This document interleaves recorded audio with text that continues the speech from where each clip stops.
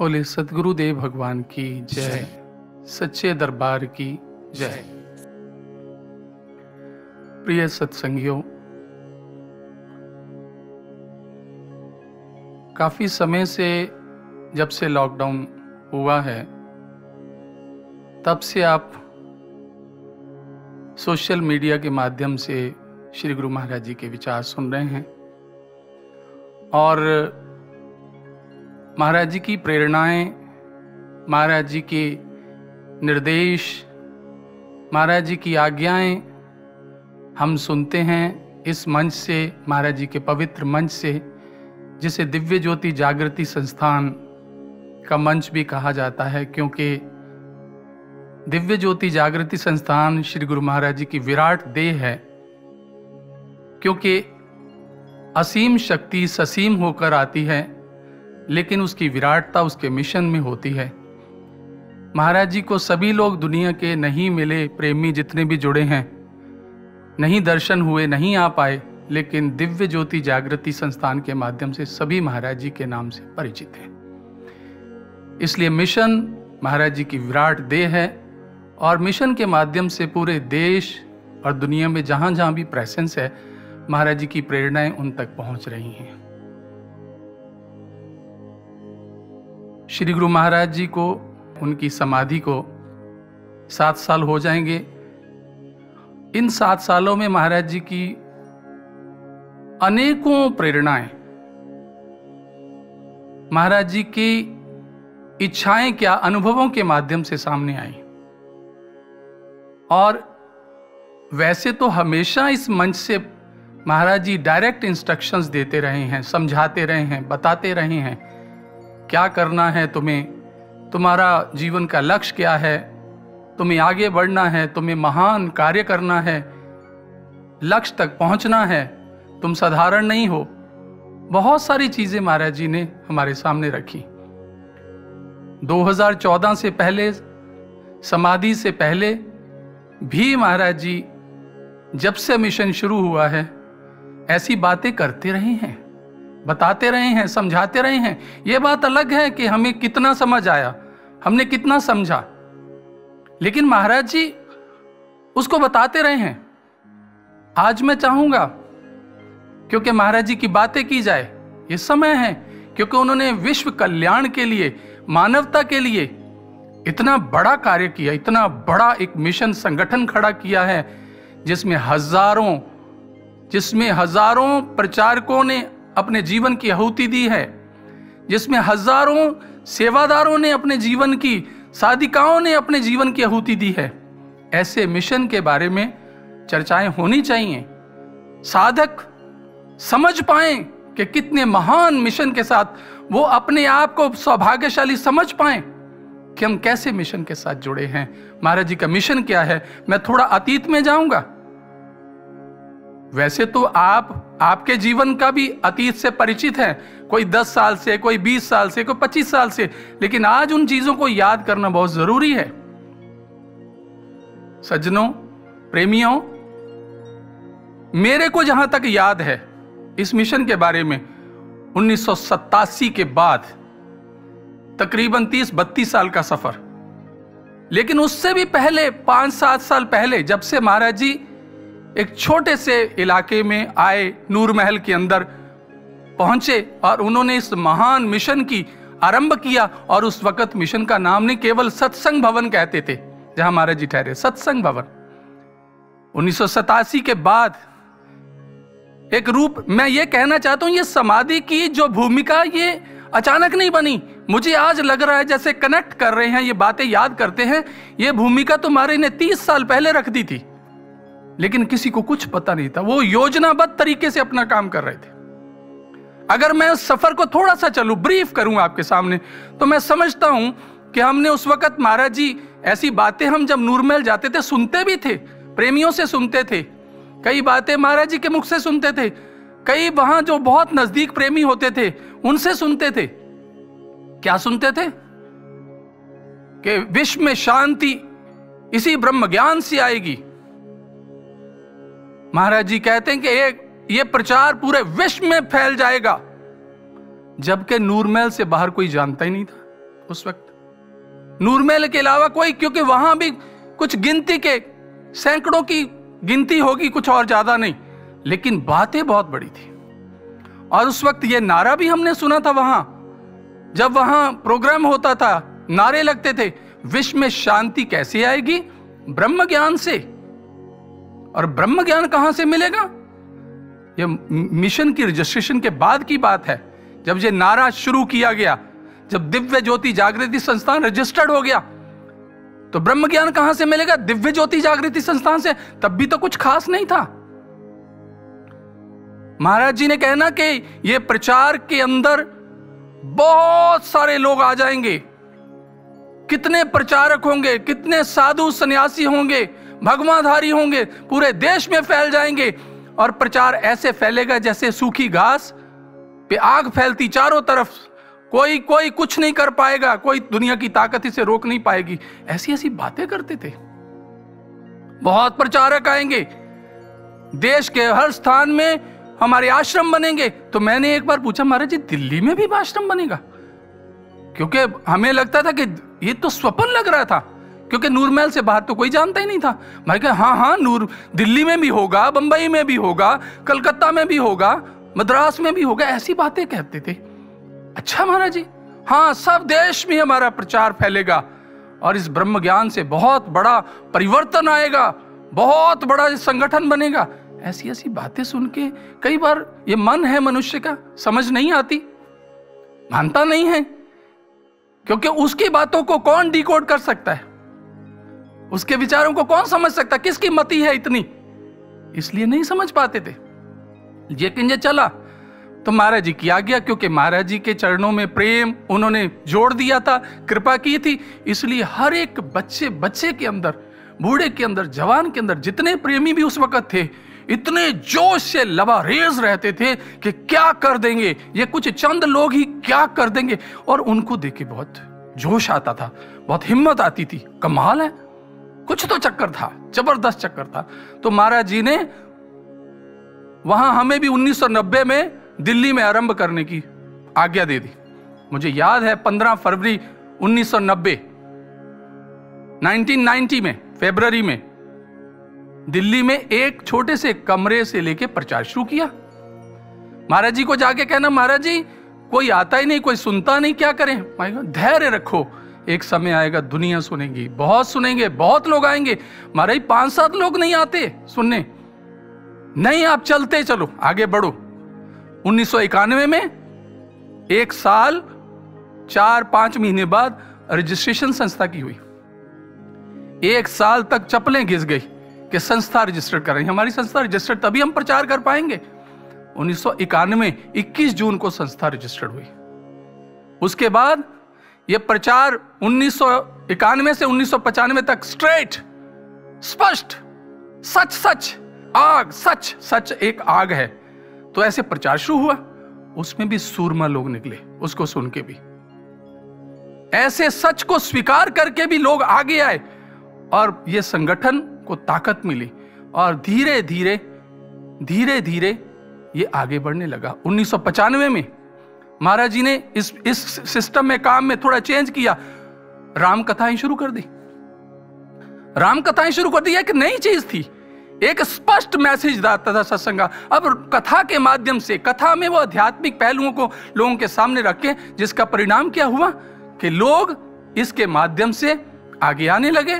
काफ़ी दो, तीन, चार साल, पाँच साल तक ये राम कथा ही चली। फिर लोगों की मांग नहीं इतनी बढ़िया कथा होती है। भागवत कथा भी हो, फिर भागवत कथा भी शुरू हुई। तो ये चलते चलते ये दो साल के बाद भी, लेकिन दो साल बाद क्या हुआ? दो साल बाद महाराज जी की कृपा से पीतमपुरा आश्रम की ज़मीन हमें अलॉट होगी प्लॉट अलॉट हो गया।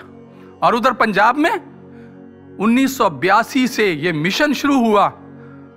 और उन्होंने भी उन्नीस के अंदर जो हाँ आज आश्रम है, ये आश्रम की ज़मीन ले ली। मतलब एक विराटता धारण करनी शुरू कर दी मिशन ने। जो महाराज जी के विजन सपने हैं, वो साकार होने लगे। सामने आने लगी, जो जो गल चित न चेते सन, सो गाली रब, जो जो कभी कोई सोच नहीं सकता, वो चीज़ें घटित होने लगी। उन्नीस सौ सत्तानवे में पीतमपुरा का आश्रम बनना शुरू हो गया और उन्नीस सौ अठानवे में कंप्लीट हो गया। और उसके बाद 1999 मतलब दो साल के अंदर मतलब प्रचार का भाव हो गया। हम पीतमपुरा के आश्रम को बड़ा आश्रम कहते थे, क्योंकि उससे पहले छोटे से आश्रम में थे। मुझे, क्योंकि मैं शुरू से दिल्ली रहा हूँ, इसलिए मुझे ज़्यादा दिल्ली का ज्ञान है, लेकिन मुझे पंजाब का नूरमहल, क्योंकि वो विराटता भी बड़ी विराट रूप में सामने, विशाल रूप में सामने आती गई। पता ही नहीं लगा किस वक्त क्या से क्या बन गया। ये उसकी कृपा, जैसी सूक्ष्म शक्ति आज उसकी काम कर रही है, उस वक्त भी स्थूलता के साथ साथ, स्थूल शरीर के साथ साथ सूक्ष्म शक्ति भी उसकी काम कर रही थी। इसलिए भैया, ऐसा आसान नहीं है, इतना बड़ा संगठन। मैं तो आज की बात करता हूँ, सात साल बाद भी। क्या रंग है? कैसी जनूनियत है? कैसा प्रेम और पागलपन है? जो प्रेमी है, जिनमें प्रेम है वाज भी लगे हैं, जी जान से लगे हैं। नमन करता हूँ मैं उनको, उनकी श्रद्धा को, उनकी निष्ठा को। सज्जनों, उसके बाद पीतमपुरा आश्रम बना, खूब प्रचार बढ़ने लगा, और उधर पंजाब में भी बढ़ने लगा, स्पीड पकड़ने लगा, और निन्यानवे में ये सोचने लगे कि यहाँ पीतमपुरा आश्रम भर गया बेसमेंट भर गई मेजनाइन भर गई बार ग्राउंड भर गया, सड़क पे टेंट लगाने लग गए पार्किंग ब्लॉक होने लगी तो बड़ी चिंता होने लगी ऐसे कैसे चलेगा? बड़ा डेंजरस है। मतलब पब्लिक को बाहर निकलने का लिए इतना रश हो जाता है, और महाराज जी भी आके उसी में रहते थे, और वहाँ अटेंड करते थे, सत्संग भी करते थे। उन्नीस सौ निन्यानवे में ये योजना बनी कि भाई आगे कुछ करना चाहिए तो दिव्य धाम आश्रम की स्थापना हुई 2000 सन के अंदर। ये लिया। और इस पावन धरती को नमस्कार कि महाराज जी, अक्टूबर 2000 सन के अंदर स्वयं इन खेतों में जब गेहूँ बोई हुई थी, जिस वक्त कीचड़ था, जिस वक्त कोई बाउंड्री नहीं थी, खेतों के अंदर आकर महाराज जी ने अपने चरण यहाँ रखे और घोषणा की कि यह स्थान ऐसा स्थान बनेगा यहाँ इन सड़कों पर देशी के साथ साथ विदेशी लोग भी घूमेंगे। ज्ञान की तलाश में आएँगे। ये बातें बहुत बड़ी लगती थी उस वक्त। समझ नहीं आ रहा था कि ये सच में हो जाएगा। ये कैसे होता चला गया? अभी दिमाग नहीं काम करता, सोच नहीं पाता। इंसान की इतना सामर्थ्य है भी नहीं कि वो समझ पाए इस चीज़ को। तो चले। ऐसे ही नूरमहल में भी प्रचार बहुत तेज़ी तेज़ी बढ़ने लगा ब्रांचेस खुलने लगी लोग आने लगे। और महाराज जी ये भी कहते थे जब कि एक समय आएगा प्रचार बहुत तेज़ी से बढ़ेगा विरोध भी बहुत होगा। विरोध भी होगा प्रचार भी बढ़ेगा। ये समय काल शुरू हो गया। 2000 सन के अंदर मतलब यहाँ शुरुआत हुई उसके बाद 2001, 2002, 2003 में कुछ महाराज जी सिस्टम में चेंजेस करनी शुरू कर दी। कुछ हेड ऑफ़िस दिल्ली को बनाया और दिल्ली के सिस्टम में भी मैनेजमेंट में थोड़ी थोड़ी चेंजेस शुरू करने लगी। किसी की समझ में नहीं, उसकी योजना क्या है? वो करने क्या जा रहे हैं? उनका भविष्य क्योंकि उनका विजन तो 2014 पर टिका हुआ था कि मैं समाधि में जाने से पहले पहले क्या क्या करना है। और उसके साथ साथ बुला के कहते कि अब प्रचार बहुत बढ़ेगा तो कोई सिस्टम है आपके पास? इंटरनल कंट्रोल करने का? महाराज जी, हमें तो कुछ नहीं पता। कुछ आता नहीं। साधारण से लोग हैं, कुछ पता नहीं। महाराज जी, क्या कर? भाई कहते, कोई सिस्टम। और कहते हैं, कृपा करते, करवा लेते हैं। ऐसे लोग साथ संगठित हुए। उन्होंने एक ऑर्गेनाइजेशन का इंटरनल सिस्टम। उस वक्त नूरमहल और दिल्ली प्रचार था। देश के अन्य भागों में नहीं था। सिस्टम डेवलप किया, जिसको महाराज जी ने स्वयं अपना पूरा टाइम दे के करेक्शन करानी। ऐसे करो, इसमें ऐसे नहीं, ऐसे करो। महाराज जी की बड़ी कृपा। सब करने कराने वाले आप है, लेकिन पीछे रहते। किसी को कुछ नहीं पता। सिस्टम बना, उसके बाद प्रचार सच में बड़ी तेज़ी से ब्रांचेस खुलने लगी। देश के कोने कोने में शाखाएँ खुलने लगी। उधर पंजाब के अंदर प्रचार बढ़ने लगा अचानक। विरोध भी बढ़ रहा है, प्रचार भी बढ़ रहा है, सब हो रहा है। और ये गति ज़बरदस्त चली पाँच छह साल। अचानक 2009 के अंदर, आठ के अंदर कोई बड़े प्रोग्राम की योजना बनी तो दिव्य उद्बोधन प्रोग्राम किया गया। स्थितियाँ क्या थी? क्योंकि मैं बहुत गहराई में नहीं जाऊँगा, इतना टाइम नहीं है। यू ट्राई टू अंडरस्टैंड आप समझने की कोशिश करो कि वो क्या दिव्यता उसकी, क्या क्या दिव्य शक्ति है, कैसे वो अपनी दिव्यता से क्या क्या कर सकते हैं? और हमें प्राउड होता, हम ऐसे गुरु के शिष्य हैं। हमें मौका मिला है, हमें अवसर मिला है, अनमोल समय मिला है हमें। कहीं छूट ना जाए। बस यही प्रार्थना, क्योंकि हम है कैसे हैं? हमारी बैकग्राउंड कैसी हम नहीं जानते। हमें कोई अध्यात्म का ज्ञान नहीं, सब महाराज जी की कृपा। बस प्रार्थना हर श्वास में यही निकलती, महाराज जी। अंतिम श्वास बस आपके चरणों में निकले, और कोई इच्छा नहीं है ज़िंदगी की। बहुत कृपा है आपकी, बहुत कुछ दी। इस काबिल नहीं है। जो आपने प्यार दिया है, जो मौका दिया है, हमारे जैसे लोगों को। क्योंकि मुझे याद है 2003 में जब महाराज जी को एक बार कहा, महाराज जी हमें अब बहुत तरफ़ प्रचार बढ़ रहा है, महाराज जी हमें समझ नहीं आता कैसे कर महाराज कहते अरे, जितना होता कर लो। करने वालों ने अभी आना है, वो बातें भूली नहीं है। और अब सब कुछ स्पष्ट हो रहा है। इन सात सालों में समाधि काल के अंदर, महाराज जी की हर योजना साकार रूप ले रही है। साकार होती जा रही, दिखने लगी है। महसूस होने लगी है स्पष्ट होने लगी है। तो 2009 में दिव्य उद्बोधन प्रोग्राम किया गया पंजाब में। उसके बाद महाराज जी बहुत जल्दी में बहुत जल्दी, समय जो नज़दीक आ रहा था बहुत जल्दी में बड़ा प्रोग्राम करना है सबको इकट्ठे करना है सब प्रेमियों को एक जगह क्योंकि उनको अपने अब जो विचार थे उसको डी जो करना था क्योंकि ये कोडिंग रह जाती हमें समझ नहीं आती डी करना था तो 2010 के अंदर दिव्य शांति महोत्सव नूरमहल के अंदर। और पंजाब की संगत ने स्पेशली उनको बधाई कि उन्होंने महाराज जी की उस सेवा को तन, सारे देश ने सहयोग दिया, लेकिन जो सेवा की जिस तरीके से प्रोग्राम हुआ अनएक्सपेक्टेड अनएक्सपेक्टेड लोग हैरान थे, इतना बड़ा संगठन, इतनी बड़ी पब्लिक और इतना ज़बरदस्त कार्यक्रम। और उसके अंदर महाराज जी ने क्या मैसेज दिया? उठो। कर लो, एक एक जागृति, एक कर लो। संदेश दिया, उसके ऊपर कोई शिकायत नहीं कर सकते। हम ही आलसी बने रहे। हम ही लापरवाह बने रहे। हम ही बेफिक्र बने रहे। लेकिन महाराज जी ने उस प्रोग्राम के अंदर याद करना, आप में से बहुत सारे लोग उसमें थे। लेकिन महाराज जी ने सबको कहा यह समय है करने का। यह समय है कुछ कर दिखाने का। यह सेवा का समय है। ये आपको वो ज्ञान मिला है, जिस ज्ञान के सामने कुछ भी असंभव नहीं, केवल निष्ठा, समर्पण और प्रार्थना साथ होनी चाहिए। कोई काम संभव नहीं है। अब थोड़ी सात साल की भी डिकोडिंग करेंगे तो उसके बाद 2010 का प्रोग्राम हुआ, गति फिर वैसी और और बढ़ गई और 2012 का प्रोग्राम दिव्य शांति महोत्सव हुआ। उसके अंदर तो महाराज जी ने म्यूज़िक बंद करा के भजन सुनवाए। और कहा, ध्यान से सुनो, समझो इसको, म्यूज़िक बंद करो। क्यों कराया भाई? वो कुछ समझाना चाहते थे। वो हमें ट्यून्ड करना चाहते थे। हम ट्यून हो जाएँ उन विचारों के साथ। पर इतनी एकाग्रता, इतनी वो नहीं थी ना। इसलिए बहुत अच्छा महाराज बहुत बड़ी बहुत अच्छा प्रोग्राम बहुत बड़ी लेकिन उन्होंने म्यूज़िक बंद करा के जो विचार दिए, क्या दिया? कभी डगमगाना मत।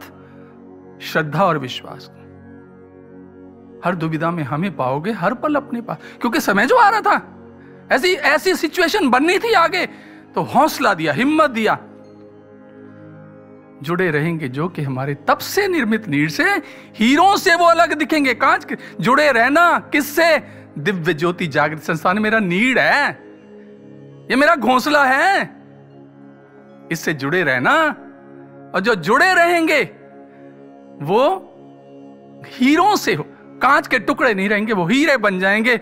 वो समर्थ रखता है, कांच के टुकड़ों को हीरे बनाने का समर्थ रखता है। इसलिए उसने संदेश दिया, तुम जुड़े रहना, क्योंकि उन्हें मालूम, मैं गायब होना है, मैं निकलना है। मुझे सूक्ष्मता में जाना है, मुझे स्थूलता छोड़नी है। ये घबरा ना जाए। पहले से पहले से आगाह कर दिया। जुड़े रहेंगे, जो कि हमारे तब से निर्मित नीर से, हीरों से वो अलग दिखेंगे। कांच करीज की भीड़, कोयल का माधुर्य ना छिपता कागों के शोर में। सिर्फ़ तुम्हारे हाथों होगी विजय पताका भोर में। याद रखना, जो जुड़े रहेंगे, कब? उस काल में आने वाले समय की इंस्ट्रक्शन दी जा रही थी, सावधान किया जा रहा था। सज्जनों, सिर्फ़ तुम्हारे हाथों होगी विजय पताका भोर में। अरे, लिखोगे कल नवयुग का एक नया इतिहास तुम। तुम नवयुग का इतिहास लिखोगे। हर दुविधा में हमें पाओगे, हर पल अपने पास तुम। कभी डगमगाने मत देना श्रद्धा और विश्वास। ऐसा सदगुरु जो भविष्य को सामने रख रहा है। सदगुरु सांचा क्या करे जो सिखन में चूक वो क्या करे? हमारी हम, उसने कैसे लोगों को इकट्ठा किया? साधारण साधारण से साधारण। और काम कितना दिव्य से दिव्य उन, उनसे करवा रहे हैं। ये समर्थवान की बात है भैया। हमारा कोई मान नहीं करना चाहिए। ये उसने शुक्र है, उसने हम जैसे लोगों को मौका दिया है। समझने की बात है। तो ये ये शब्दों की डिकोडिंग होगी, सिर्फ़ तुम्हारे हाथों की विजय पताका पर सिर्फ़, अरे लिखोगे कल नवयुग का एक नया इतिहास तो हम इतिहास लिखने वाले लोग। आप। लेकिन उसने सब पर बराबर कृपा की है। कौन होगा आप सब में से जिसको समय नहीं दिया उसने? सबको समय दिया है। कैसे वो कर लेते थे? मैनेज सबको अटेंड कर लेते थे, सबसे बातें कर लेते थे। कमाल है। ये बातें तब समझ नहीं आई। ये बातें 2014 के बाद ही दिमाग को खलाने लगी हैं, चुभने लगी हैं, पश्चाताप होने लगा है, दुख होने लगा, हमने क्या खोया? कितना खोया? हम नहीं समझ पाए। महाराज जी बिठा बिठा के सुनवाते थे, किए करते थे। क्योंकि महाराज जी तो कहने के साथ उन्होंने सत्संग के माध्यम से, उन्होंने भजनों के माध्यम से, उन्होंने अनुभवों के माध्यम से, उन्होंने पास बिठा के समझाने के माध्यम से, क्या चीज़ नहीं बताई? सब चीज़ समझाई। सब चीज़ बताई। लेकिन समझने वाले ही हमारे जैसे मुँह रखते नहीं समझ आया? हाँ जी, मारे मारे मारे सदगुरु महाराज की जय, सच्चे दरबार की जय। लेकिन जो वो समझाना चाहते थे, वो अब समझ आ रहा है। ये उसकी कृपा है। लेकिन इसके हर श्वास में प्रार्थना भी होनी चाहिए, मालिक, हे सदगुरु, तेरे जैसा नहीं मिलेगा। तेरे को हमारे जैसे लाखों मिल जाएँगे, क्योंकि हमारे में तो कोई गुण नहीं। ना ही गुण, ना ही कुछ। विद्या, किस चीज़ की विद्या? कौन सा गुण है? इसलिए मान का तो कोई स्थान ही नहीं, कोई मान कर सके। वो दाता है, समर्थवान है। इसलिए सज्जनों 2013 में राष्ट्र चिंतन में लग गए। और 2013 में कहते कि जो 2014 में होली का प्रोग्राम रखा है ना, उसे कैंसिल कर दो। सारे हैरान, महाराज जी, होली का तो एनुअल प्रोग्राम है, लोग साल भर इंतज़ार करते हैं। नहीं नहीं मारे कहते नहीं, इस बार नहीं करेंगे। किसी को क्या पता था चक्कर क्या है? क्या होने वाला? उनकी योजना तो 28 जनवरी फिक्स हो चुकी है। उसके बाद होली क्या है? फिर तो होली तब होगी जब एक एक नया सवेरा होगा। फिर तो क्या होली होगी जिसमें रंग नहीं केवल दिल, मन रंगे होंगे, दिल रंगे होंगे, भाव रंगे होंगे। फिर तो वैसी होली हो महाराज जी जानते हैं। अच्छा महाराज जी, जो आ गया महाराज जी, कर दी कैंसल बहुत सारे ऐसे एग्जाम्पल्स हैं, लेकिन इन सात सालों में महाराज जी ने जब समाधि ली उस वक्त इतनी समझ तो थी नहीं। महाराज जी इशारे तो दिए थे पहले भी बहुत साल लेकिन समाधि का कौन कहाँ तक सोचता? मेरे को याद है 1990 की बात महाराज के पास एक बार गए। महाराज कहते क्या करते हो? मैं कहा महाराज जी आ, कोई सत्संग तो सुनता नहीं कोई आ जाता तो सारे जाल सारे लोग इतना सुना देते हो दोबारा गली में नहीं आता। तो बाकी जब कोई नहीं होता तो बना लेते, रोटी बना लेते, खा लेते और सो जाते और साधना कर लेते हैं। बस यही काम हमारे कहते अरे, साधना इतना, अभी आपको सेवा करनी है। जन जन तक संदेश पहुंचाना है। लोगों को समझाना है। ये ये संदेश देना है। प्रचार का समय है। करो। महाराज जी ने ये बात कही कि जिस दिन समाधि का समय आएगा, आपको सामने बिठा के ऐसा कर देंगे जहाँ जन्मों तक नहीं पहुँच सकता। वहाँ समाधि लग जाएगी। ये मुझे कहा हुआ है 1990 में। तो वो इतना समर्थ रखता तो उसके लिए समाधि क्या चीज़ है? लेकिन उस वक्त भी एक ऐसा शैतान ने चक्कर चलाया, बहुत ब्रह्मित। भ्रम फैला, शैतान को मौका मिला, वो विरोधी उग्र हो गए। और उसमें शैतान का ऐसा खेल कि केस कोर्ट, कचहरी, हमने कहा बच्चे थे जब आए थे? ना इन सब चीज़ों का पता था, ना कभी सोचा था, लेकिन करवाने वाला सामर्थ्य सब करवा लिया। उस वक्त उस वक्त साढ़े तीन साल का कठिन समय कैसे बीता? कैसी हिम्मत उसने दी? कैसे लोगों से फेस करते थे? कैसे मैं अपनी नहीं, सब जितने लोग भी तब तक, जित, जिस, चाहे समर्पित लोग, साधु, सन्यासी, कार्यकर्ता उन सब की निष्ठा को नमन है, जिन्होंने तब तक भी अपने आप को संभाले रखा और उस संघर्ष को किया। और उस समय 4 जून 2017 को, क्योंकि महाराज जी अनुभवों के माध्यम से समझाते रहे। केस के टाइम पे भी जब कोर्ट में केस था तो अनुभवों के माध्यम से गाइड करते रहे, इस चीज़ का ध्यान रखना, ये देखना, ऐसा करना, उसका ध्यान रखना, ये सब होता रहा। और 2017 4 जून को एक साधक को मारे ने अनुभव कराया। और वो अनुभव, मैं उसको अनुभव कहूँ, मैं उसको भविष्यवाणी कहूँ, मैं उसको आकाशवाणी कहूँ, मैं उसको तुर्की वाणी कहूँ, मुझे नहीं समझ है। लेकिन क्या शब्द वो हिम्मत है, वो संबल है, वो मार्गदर्शन है। और इस अनुभव को मैं अगर पाँच हिस्सों में बांटूं, चार हिस्सों में बांटूं तो आपको समझ आएगा।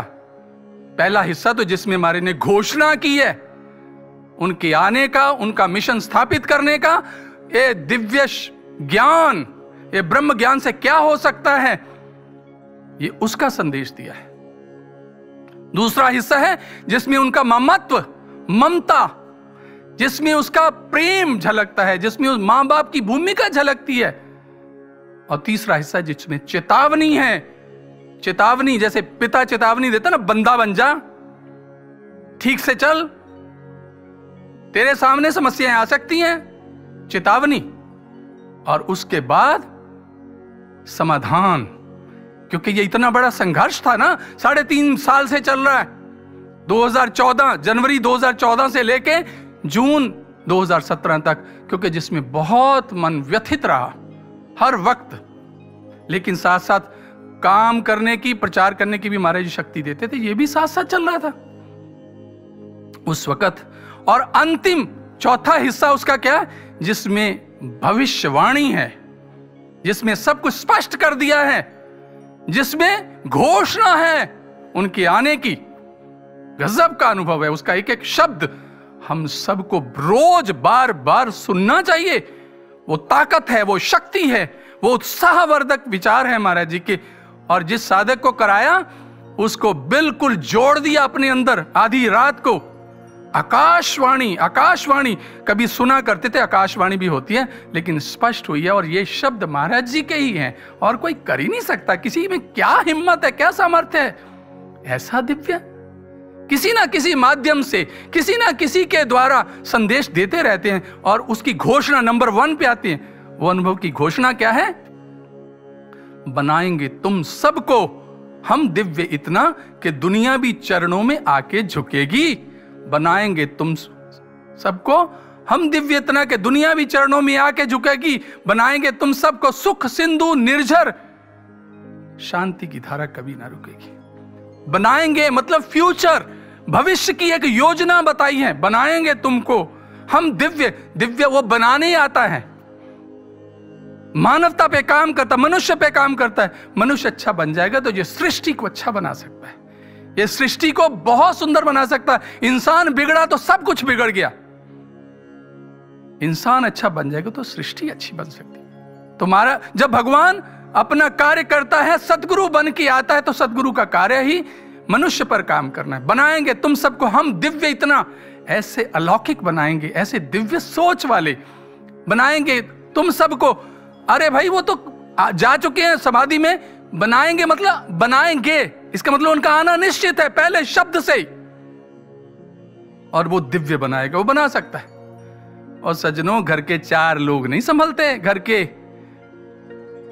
कैसे सबको संभाला? अंदर से संभाला, बाहर से संभाला। और महाराज जी ने ये बातें आज से नहीं, तीस साल पहले कही हैं। ऐसा संघर्ष आएगा, ऐसा संघर्ष आएगा जहाँ विश्वास, निष्ठा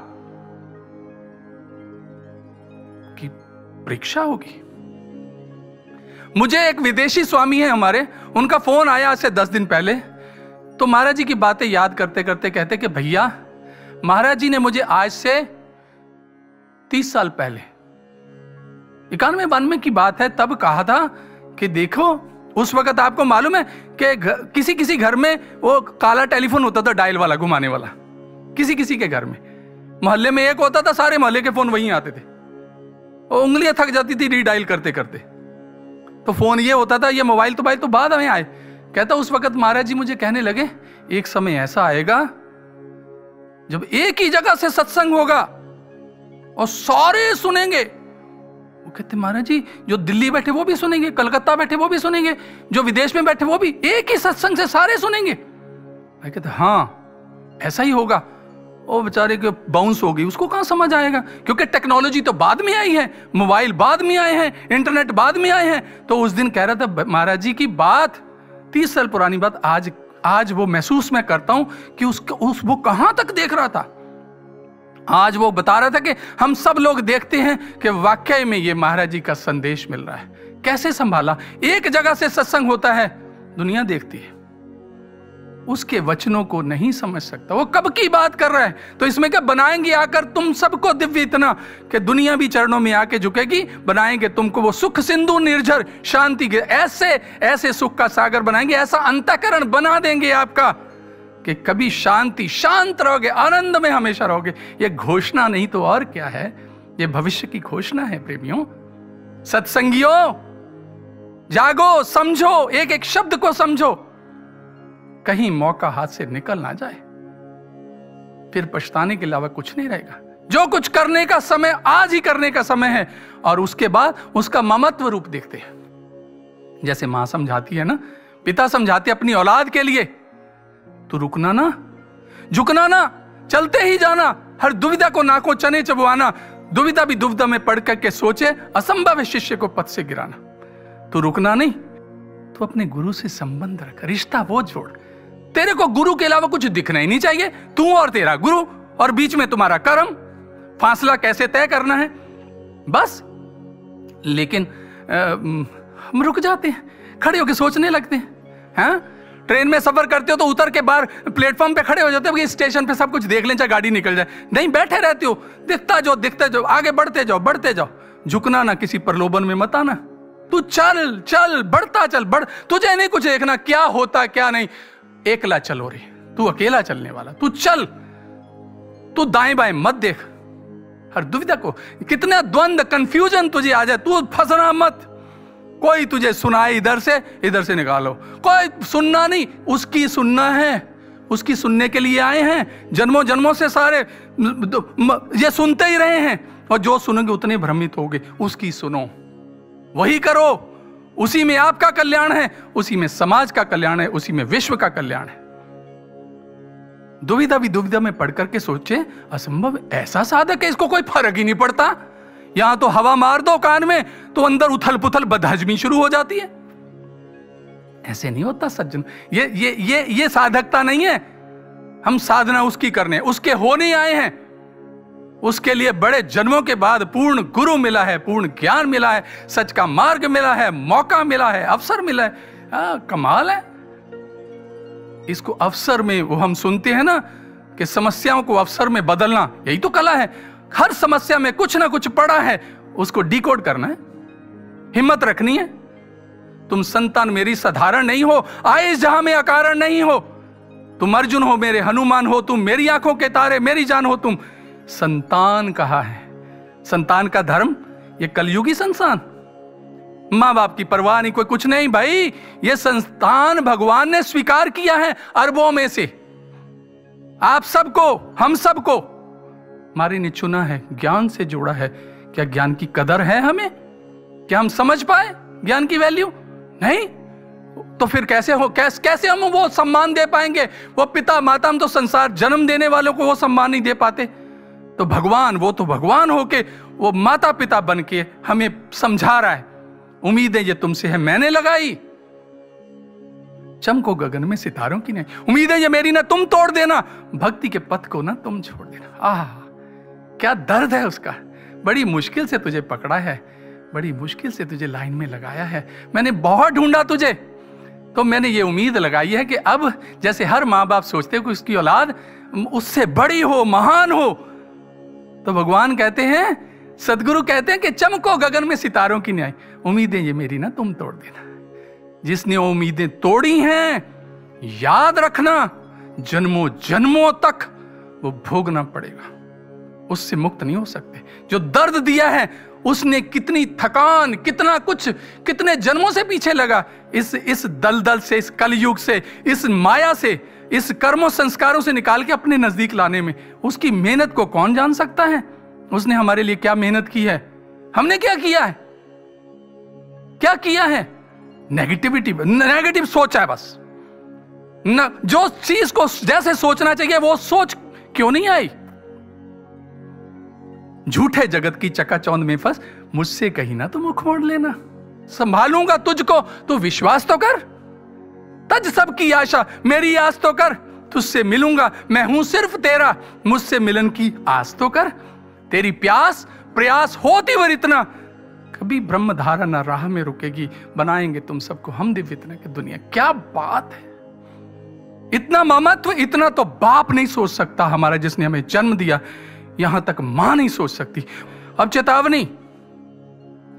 डकरना ये आसान। फिसलन भरी है। विकारों की पग पग में खाइयाँ बड़ी हैं। सजग होके चलना, कहीं गिर ना जाना। अवसर ये दुर्लभ, न मौका गवाना। वैसे तो वो साथ है हमेशा, लेकिन हमारा पुरुषार्थ के लिए हमें प्रेरित कर रहा है। याद रख तुझे जो मैं रास्ता दिया है ना, सफलता का उच्चतम, ऊंचाई तक पहुँचने का। ये आसान नहीं है। फिसलन है इसमें। फिसलन से बड़े सावधानी से चलते हैं। फिसलन किस चीज़ की? विकारों की, प्रलोभन की, लोभ की, अहंकार आ जाता है। हैं? ए मुझे ऐसे कह दिया, ये कैसे हो गया? मैं तो ऐसे कर दूँगा, सत्संग छोड़ दिया सेवा छोड़ दी, ये करना। अरे कोई रुकेगा, तू है जब तेरे जैसे लाखों क्या फ़र्क पड़ेगा? वो अकेला ही बहुत है। वो अपना मिशन पूरा करके आता है, वो तो एक खेल रचता है सबको सम्मिलित करने के लिए। सबके कल्याण की सोच है, क्योंकि सारी संतान उसकी है।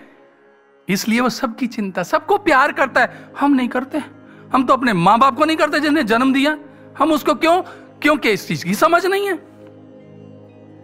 अभी तो आरंभ है। अंत नहीं है। यह काल रात्रि अनंत नहीं है। अभी तो बवंडर उठेंगे भयंकर, पथ में बढ़ेंगे और शूल कंकर। ये जो समय बीत रहा है, ये आपको समझ नहीं आ रहा? ये महाराज ने 2017 में 4 जून में।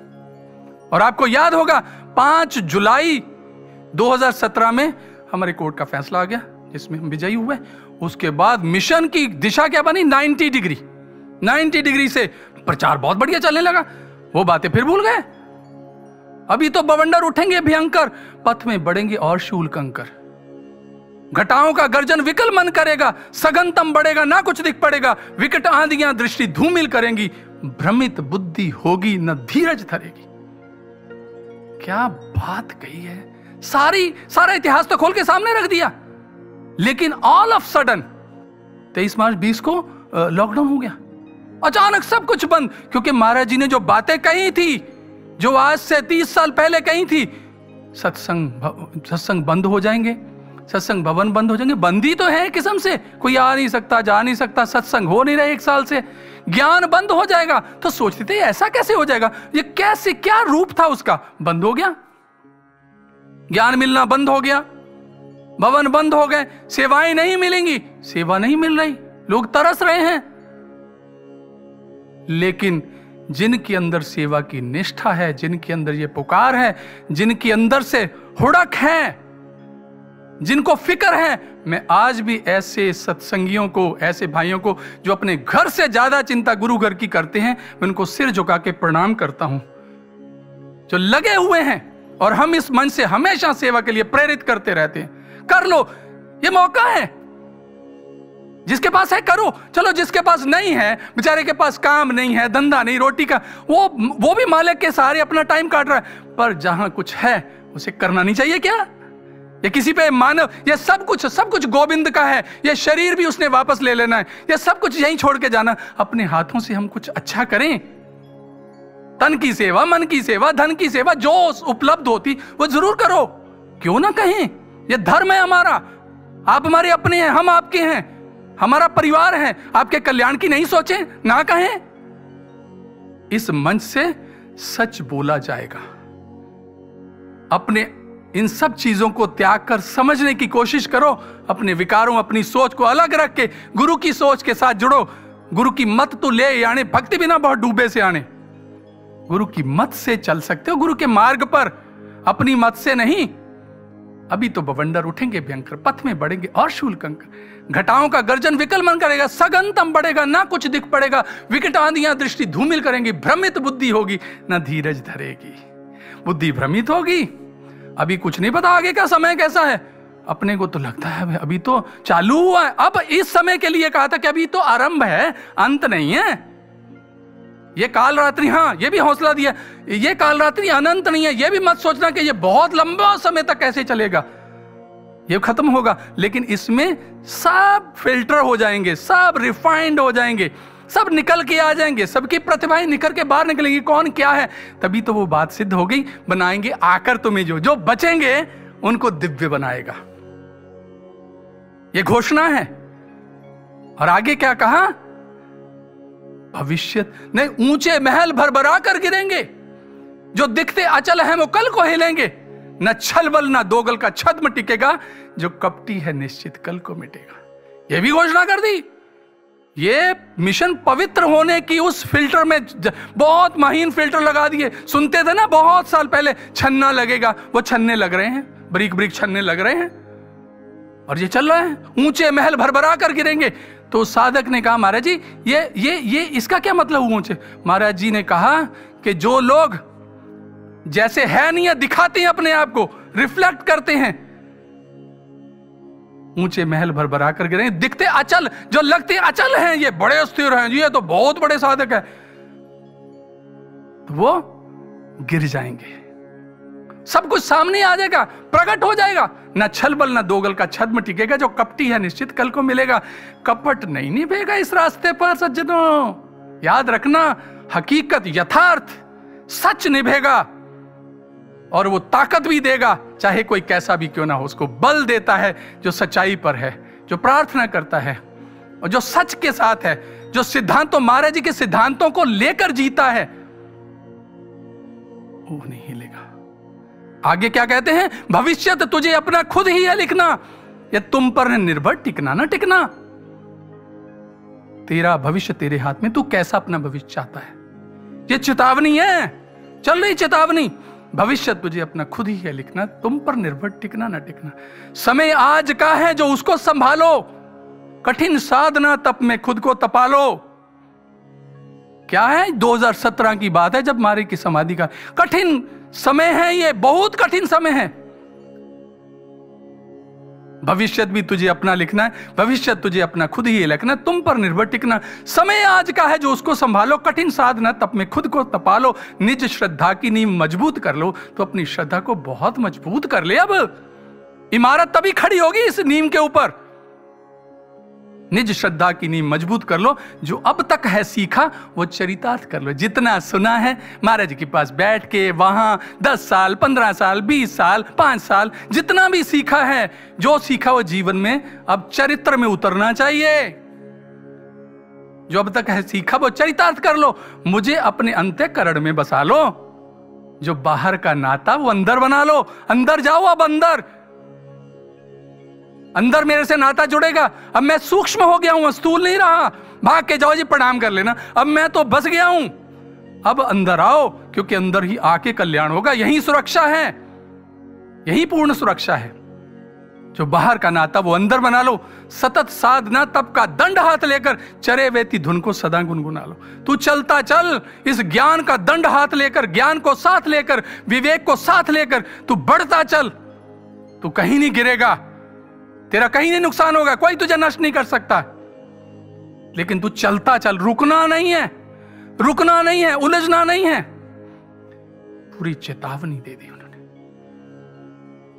और उसके बाद, क्योंकि चेतावनी सनसनी है काफ़ी, उसके बाद कितना हौसला दे रहे हैं, उसके बाद समाधान की ओर ले जा रहे हैं। मैं अंदर हूँ तेरे, बाहर नहीं हूँ। मुझे कैसे समझोगे, मैं ज़ाहिर नहीं हूँ। ये आंधी, ये तूफ़ान मेरी ही रचना। सुनो जरा, समझो। आप प्रेमी हो, विवेकी हो, आप समझो जरा। ये आंधी, ये तूफ़ान मेरी ही रचना। ओ नादान, संशय निशाचर से बचना। बस इस राक्षस से बच जाना, इस निशाचर से बच जाना। ये शंका, ये जो शंका है ना, शंका में कितने उड़े लोग? क्योंकि ये परीक्षा का काल है ना साधकों का।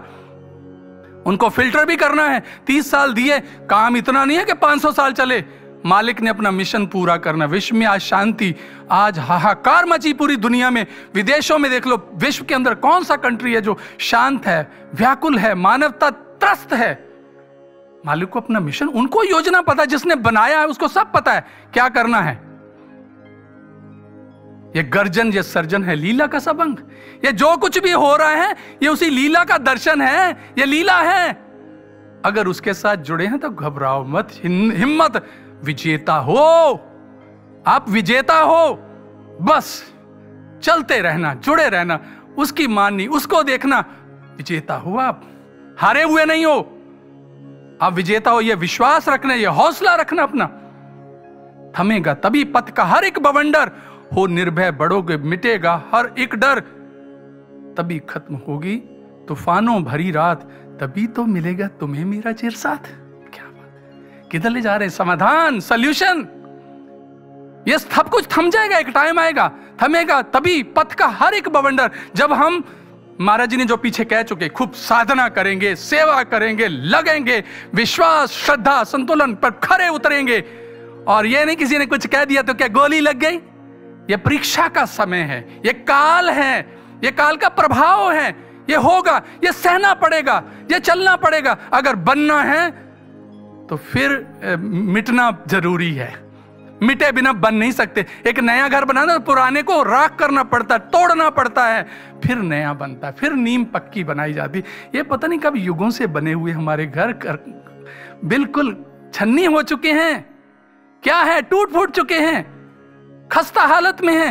तो अगर नया बनाना तो तोड़ेगा ही ना। तो मिटना पड़ता मिटने के बाद बनना पड़ता। फिर बनाता है फिर वो अपने हाथों से बनाता। ये याद रखना।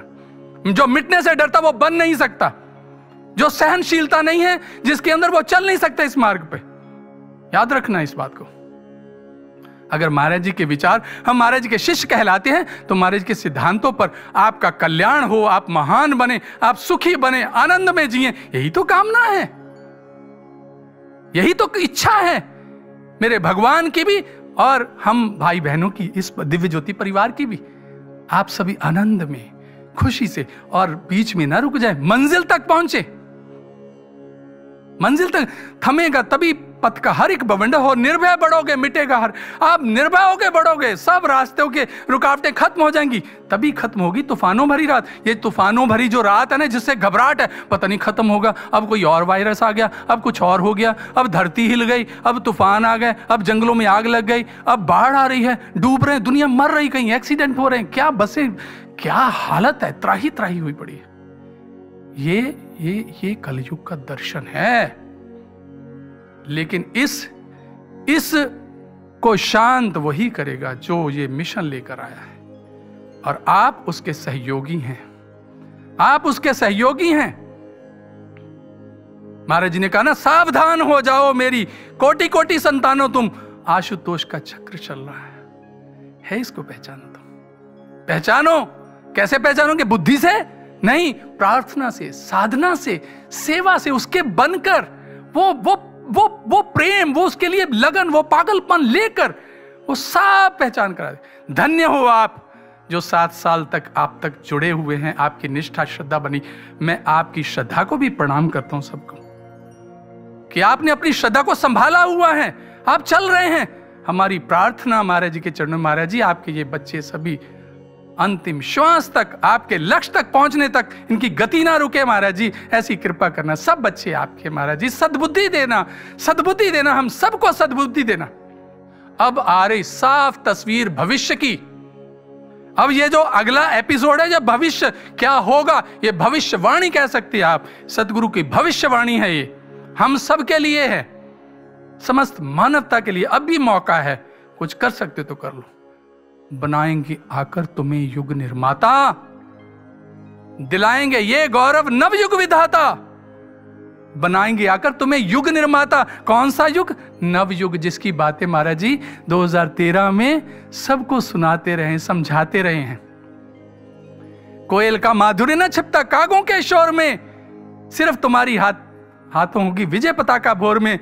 अरे लिखोगे, कल नवयुग का एक नया इतिहास तुम उस नवयुग की बात की है। हर दुविधा में हमें पाओगे। ये नवयुग, उस नवयुग के निर्माता होंगे आप। बनाएँगे आकर तुम्हें युग निर्माता, दिलाएँगे ये गौरव नवयुग विधाता। ये गौरव प्रदान करेगा, क्योंकि जो वहाँ तक निभाएगा, जो उनके आने तक हिम्मत रख के उसी निष्ठा को साथ लेके चलेगा, उसी जोश को, उसी प्रेम को लेके चलेगा, उनके साथ तो ये होगा। लेकिन जो तो ठन ठन गोपाल ये हमें सोचना, इतनी सोचने की शक्ति दी है हमें। भगवान ने इतना विवेक दिया, सब समझ आता है। मूर्ख नहीं है।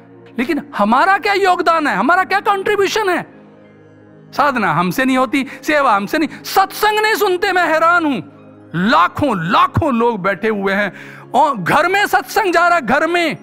आपके हाथ में सत्संग है। कहीं चल के नहीं जाना, बस चढ़ के नहीं। टैक्सी में नहीं जाना कि पैसा नहीं खर्चना, किराया नहीं खर्चना। लेकिन वो भी दुर्भाग्य मैं तो ये कहूँगा, दुर्भाग्य है कि वो सत्संग भी नहीं सुन पाते। और फिर क्या कहेंगे? सब कल्याण हो जाए। ऐसा क्यों हो गया? वैसा किस मुँह से कह देते हैं आप? हमारा योगदान क्या है? सर्वस्व लुटाना। काल ले जाए। सब कुछ हमारे शरीर को भी लूट के, सब कुछ। क्या हम नहीं चाहेंगे काल की जगह महाकाल को अर्पित करें? उसके लिए कर दें, हाथों से कर दे। सज्जनों तुम हो मेरे प्यारे, हो मेरे दुलारे इसी हेतु तुमको यह बतला रहा हूँ। खुद को सवारो, खुद को निखारो, करो साधना, यही समझा रहा हूँ। प्रतीक्षा के संग संग स्व निर्माण कर लो।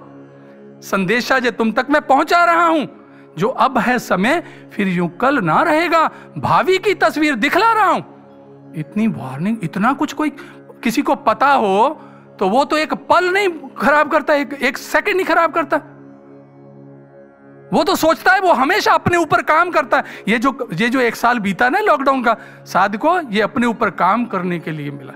आप क्या सोचते कि आप सारे संसार को ज्ञान दे के वो बदल देंगे? नहीं। सेवा की है आपने तीस साल। जब तक जीवन है, करनी है। लेकिन ये समय हमें केवल अपने ऊपर काम करने के लिए मिला है कि अपना अपना स्वाध्याय, अपने अंदर चिंतन और अपने को सुधारें, अपने को निखारें।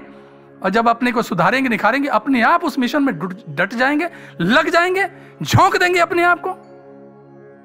फिर ना तू कहना, ना चेताया मैंने, सोवो ना खोवो, ये चेता रहा। हूँ सतत साधना तब की अग्नि में तप कर, धीरज धरो, जल्दी मैं आ रहा हूँ। धीरज धरो, जल्दी मैं आ रहा हूँ। धीरज रखना। कहीं अधीर होके इस रास्ते से अलग मत हो जाना। धीरज धरो, जल्दी मैं आ रहा हूँ। धरती सजाने को मैं आ रहा हूँ। अपना बनाने को मैं आ रहा हूँ। कुंदन से निखरोगे जब तुम, उसी क्षण खुद में मिलाने को मैं आ रहा हूँ। धीरज धरो, जल्दी मैं आ रहा हूँ। सज्जनों, कुछ रह गया बाकी? कुछ लगता है आपको कुछ रह गया बाकी? जो कह दिया है, हम अपने जीवन के अंतिम श्वास तक झोंक दें। मैं अंत में यही कहूँगा, खूब डट के सेवा कर लो। डट के साधना कर लो। ये कोई कहने की चीज़ है? क्या हमें समझ नहीं है? ये अपने आप को सुधारने और बदलने का समय। फिर ये समय नहीं है। युगों युगों तक नहीं है किसी को समय मिलता। ये संधि काल की बेला, नवयुग का आगमन, पूर्ण सदगुरु की प्राप्ति, पूर्ण ब्रह्म ज्ञान, ये संयोग बनेंगे? क्या क्या हम ऐसे मौके मिलेंगे हमें सेवा के? इसलिए इसको कहीं छोड़ मत देना। मेरी ये प्रार्थना है आप सबसे। आलस छोड़ो। डट जाओ। ये पल है जीने के, आध्यात्मिक जीवन जीने के। आप ही हैं जिनसे महाराज जी बहुत कुछ कराएँगे वो तो पीछे आज तक रहे हैं। इतना बड़ा संगठन कर दिया, वो पीछे ही रहे हैं। वो कभी आगे आए, कभी किसी टेलीविज़न में आए हैं, कभी ये कर दो। नहीं, जो लोग भी आते थे अच्छा आप मिलो एक बार मुझे कि भारत सरकार से एक मंत्री जी कहते हैं अच्छा आप ही मिलो। मैं प्रार्थना की, महाराज जी, वो आप दर्शन नहीं नहीं, आप मिलो हमने और आप, रिक्शा पुलर दो बैठे, उनके साथ सत्संग कर रहे हैं? वाह वाह वाह। दिव्यता है। आप मिलो, वो अपने आप को आगे नहीं करने वाले। इसलिए आप आप बहुत महान है। महाराज जी ने जो कृपा की है, ये मौका मत खो देना। मैं तो हाथ जोड़ के आपके सामने का ये समय मत खो देना। दोबारा नहीं आएगा। युगो, युग में हज़ारों जन्मों लेकर यह समय नहीं मिलेगा। ये सृष्टि का संचालन तो चलता रहेगा आना जाना चलता रहेगा, लेकिन ये समय नहीं आएगा। ये नवयुग ये रास्ता ये ब्रह्म ज्ञान ये बहुत बड़ी दौलत है महाराज जी। एक ही प्रार्थना करनी है, हमें सद्बुद्धि दो, हमें सद्बुद्धि दो, हम इस आपके मार्ग पर चलते रहें। इन्हीं शब्दों के साथ मेरी बात कोई आपको ठीक ना लगी हो, आपको आहत हो तो मैं आपसे क्षमा याचना करता हूँ। लेकिन मैं एक भाई की तरह, मुझे आप सब संगत से, क्योंकि भगवान की संतान हैं, हमारे बहन भाई हैं, इसलिए एक एक प्रेम है, इसलिए कहा कि आज सात साल होने वाले हैं। तो उसके बाद आपको कम से कम वो महाराज जी की सारी बातें याद तो आए, उनका है, फ्रेम क्या है? हमें किस फ्रेम में फिट होना है?